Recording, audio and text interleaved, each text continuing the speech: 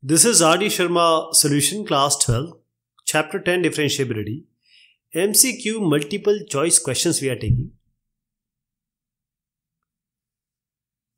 Now, uh, we will be talking about the cos x modulus and sin x modulus. There will be question.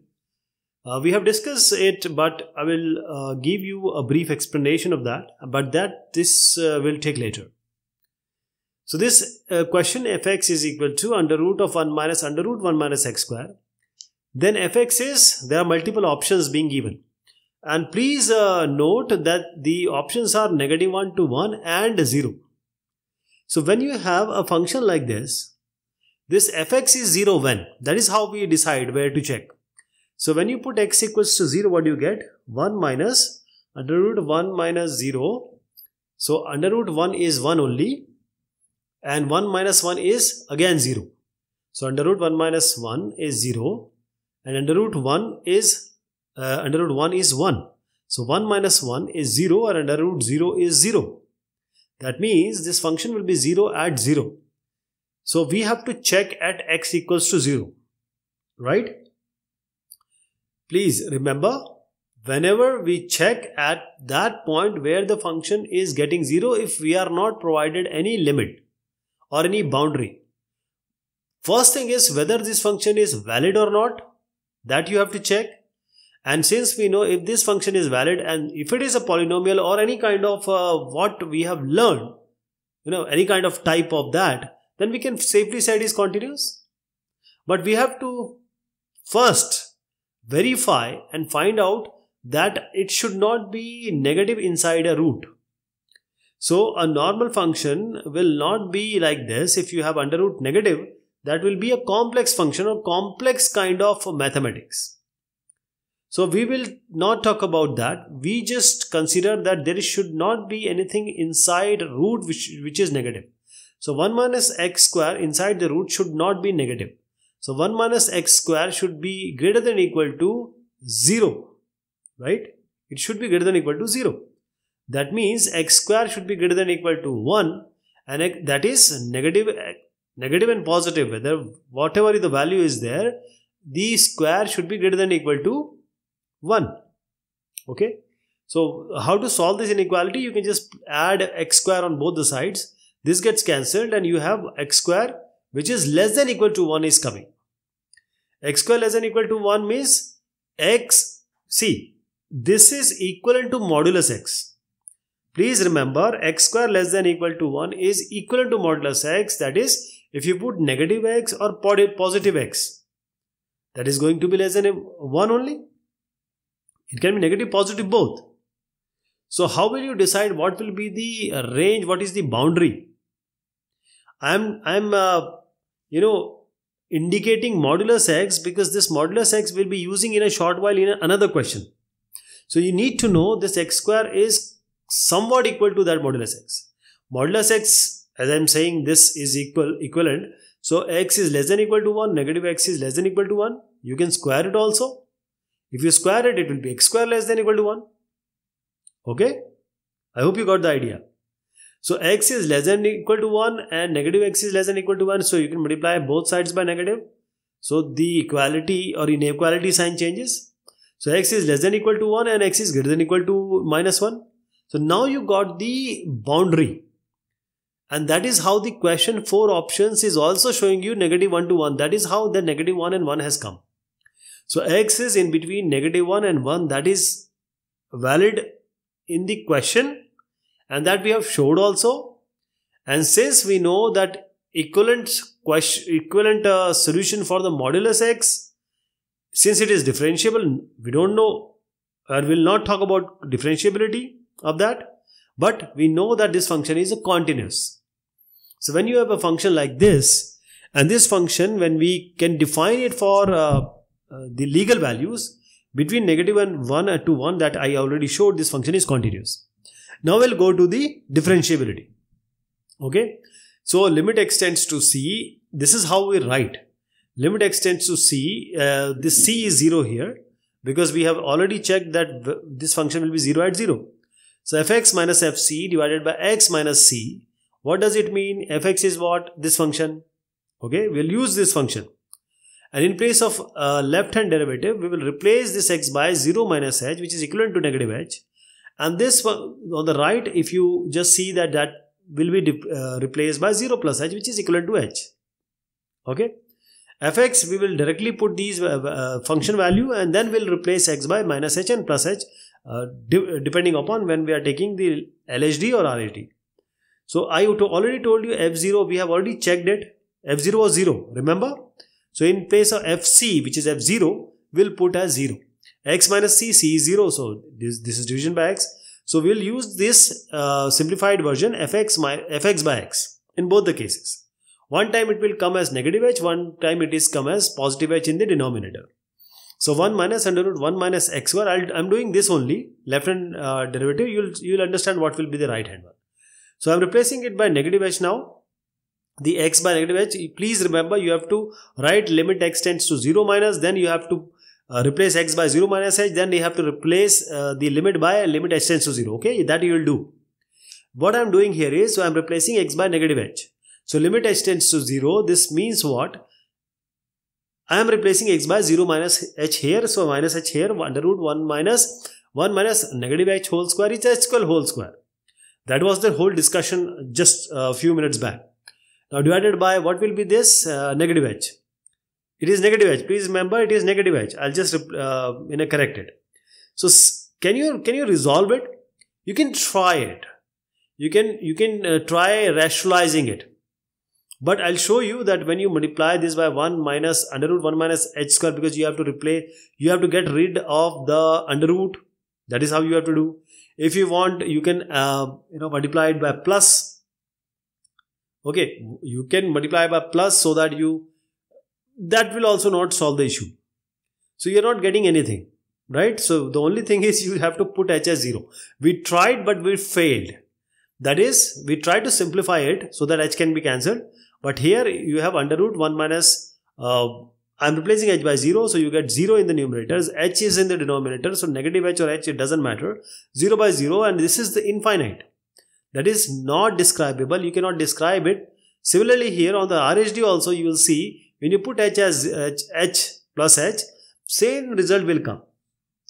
Almost same because it will be negative 0 by 0 one one time it is plus 0 by 0 so it will be negative infinity and infinity so infinity is not known to us. It is it is not uh, you cannot describe infinity. In Ramanujam series we have seen 0 by 0 is 1 but that is incorrect. In mathematics 0 by 0 is undefined. Please remember. In Ramanujam theory or the web series you can find it out that if you have a similar number uh, numerator denominator it is 1 but it is not. Okay?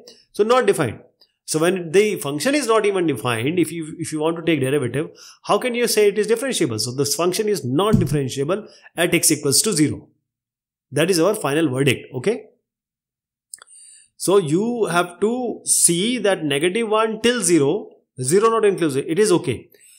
From 0 to 1, 0 not included is okay. So you can say that from uh, differentiability can only be between minus 1 to 1 without 0. Okay. So the option correct is differentiable on negative 1 to 0 union 0 to 1 but it was continuous at negative 1 to 1 that we already showed you. So this is differentiability you have to strongly say it is not at 0. So round bracket that is we are not including 0 but square bracket for negative 1 to 1 that I already showed you that this function is continuous between negative 1 and 1. Okay. So the answer is what? This is the B is the answer. If fx equals to a modulus of sin x plus b e raised to modulus x plus c uh, modulus of x cube. Now I can tell you the answer. The answer is in front of you also. You know, that is not a problem. But the problem here is the interpretation of modulus sin x. When I told you about modulus sin x in the previous discussions, you have already seen that the negative and positive depend upon whether v it is a multiple of n pi or not. That is, if I make a graph, just to make you understand, if this graph is passing through like this, sine 0 is 0, and sine 90 is 1, and sine pi again 0. So it, is, it oscillates between 1 and negative 1. So from 0 to 1, it is positive. From 0 to negative 1, it is negative. Modulus x means what? This negative part should not be there. It has to be taken on the positive y-axis. Right? Okay. That is what we do. This modulus means this here. So 0, pi by 2, pi, then you have this uh, 3 pi by 2 and then we have your 2 pi. That is how it works. So at 0, pi, 2 pi, that is n pi, the sin x is going to be 0. But when it will be positive and negative, just above n pi and below n pi, you can say that. The whole interpretation is, or discussion is, sin x modulus cannot be discussed here. We will blind our eyes, we'll close our eyes and we'll do the way the question asks us to do. I hope you got the idea. I am saying this modulus sin x has a different interpretation. You cannot just open the modulus just like that. It has to include n pi and all the other factors. But now I am blinding my eyes and I just know that modulus y or modulus of anything is plus y depending upon when y is greater than equal to 0 or y is less than equal to 0.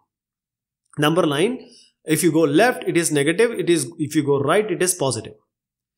So I will treat modulus of sin x exactly like this not as 9, 9 uh, n pi here just because the options being given the the options which are provided here is not talking about n pi or 2n plus 1 pi by 2 whatever okay so what we will do here is we will simply say modulus x is x when x is greater than equal to 0 it is going to be negative x when x is less than 0. That is what we are going to follow to solve this question. Okay. We'll apply a L has hospital rule also. That is the differentiation of numerator and denominator that is inevitable in this question. We have to do it. So when x is greater than equal greater than 0, uh, greater than equal to 0, all will be positive. a sine x plus b e, b e raised to the power x plus c modulus x uh, c x cube. This is fx. When x is less than 0, then just take negative minus a sine x plus c sine minus sine minus theta is minus sine theta. Please remember, but we, we are not talking about sine modulus x. We are talking about modulus of sine x. So it will be minus a sine x plus b into e raised to the power negative this this is negative x okay and then minus because x cube it is a odd power so when you take the negative of negative 1 and odd power it will always be negative so it will be negative cx cube negative cx cube please remember i just miss c you just uh, assume that there is c. Okay? So we will find out the differentiability. This function is asking about differentiability. So x equals to 0 will check the differentiability will take the left hand derivative will take the right hand derivative at x equals to 0 so fx minus fc divided by x minus c limit x tends to c is what we use. See, okay? Fx what we will use, we will use on the left that is x less than 0, this lower one and x greater than 0, this upper one. This we are going to use. This function on left and right and you you uh, you will put x as 0 minus h in the left hand derivative and you have to put x equals to 0 plus h in the right hand derivative since we are on the derivative, we can apply the L'Hospital rule. Remember, L'Hospital rule is differentiating numerator and denominator together in order to solve the question. What is f0? When you apply 0 in this x greater than equal to 0 function which we just found, you say a sine 0 plus b raised to the power 0 plus c into 0 square. So this a sine 0 is 0. Here only b will remain and here c into 0 is 0. So only b will remain. So FC is B. F0 is B. Okay. F0 which is FC, C is 0 in this case uh, because the function is getting 0 there or you are getting a B there. You have to check at 0 so the function is not getting 0 but it has a B. So fx minus b divided by x because c is 0 here. So final uh, simplified version is fx minus b by x. Now we have to replace x by 0 minus h here on the left hand derivative. We have to replace x by 0 plus h in the right hand derivative. So I am now replacing minus a sine minus h plus b e raised to the power minus of minus h minus in place of x minus h whole cube. minus b is also there. Divided by 0 minus h that is negative h. Okay. Sine minus theta is minus sine theta. So this becomes positive. You get a sine h h and then you have b raised to the power e to the power minus of minus h minus minus gets cancelled you will only get b raised to the power e to the power h. And here you have negative h whole cube that will be negative h whole cube only. When you apply the cube on the negative it will be negative negative negative becomes positive so it will be positive of h cube ch cube. And you have a negative b also right? And in the denominator you have negative h. Let it be negative h. On right what we get? We will just replace h by the x by h so it will be a sine h. Please remember we are taking x greater than equal to 0 here. A sine h plus b e raised to the power h plus c h cube and minus b also because fx minus b by x. X is h. So h we are re replacing. Okay. Now we are stuck. There is no x common. And since it is the function is differentiable at x equal to 0, the function is already given. The question is saying that. So we have to equate the left hand derivative with the right hand derivative. So a sin h plus b e h plus c h cube minus b by h and left also we have something like that. We will not be able to solve. So we have to apply certain rules so that we get rid of some or the other thing. We can uh, simplify it. So we will apply the L'Hospital rule which just says if some, some of where you are stuck, you are not able to solve, try differentiating the numerator and denominator. This is not a differentiation question but, but there is no option other than to apply the L'Hospital rule. Okay. So we will differentiate the numerator and denominator together. Okay. A sin h is cos h plus b e raise h is e raise h plus this becomes 3ch square by minus b this is a constant this becomes 0 we wanted to get rid of minus b and this is how it is possible and we have a negative h d by dh we are doing so it will be negative negative sign will be there h differentiation with respect to h is 1 right hand side also a cos h plus b e h plus 3ch square C, same thing 3ch square minus b will be 0 because we are differentiating uh, denominator is what? Differentiation of denominator with respect to h is going to be 1. Now apply the limit now. You can apply the limit. Cos 0 is going to be 1. So let me write it. A and then we have e raised to the power 0 is 1 so you get b. And since we have a h here so it be, this becomes 0 here also you get you have a negative 1 in the denominator. 1 in the denominator on the right hand side cos 0 is 1 so you get a a. And this e raised 0 you get b. And the c h square h is 0 so you, you can just uh, strike it off. So, so, negative here so you can write it as negative a a plus b and since differentiability is is at x equal to 0 you have to equate them these two there will be equal take negative a plus b on the right hand side will be positive a plus b so you get 2a plus 2b equals 0 you can take 2 common you get a plus b equals 0 so a plus b equal to 0 when a plus b will be equal to 0 you see all the options? When A and B both will be equal to 0.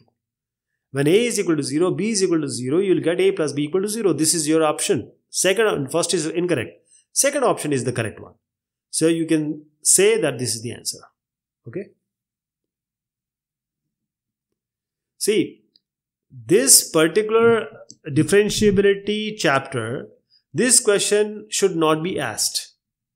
But since in your examination any question can be asked, you have to know about differentiability and differentiation together, L'Hospital rule. All these are, uh, you can say, uh, the rows of a bunch.